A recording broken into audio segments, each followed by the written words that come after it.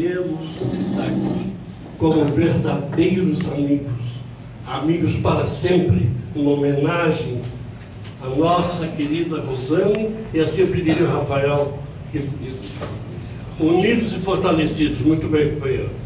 Companheiro Rafael, processo som.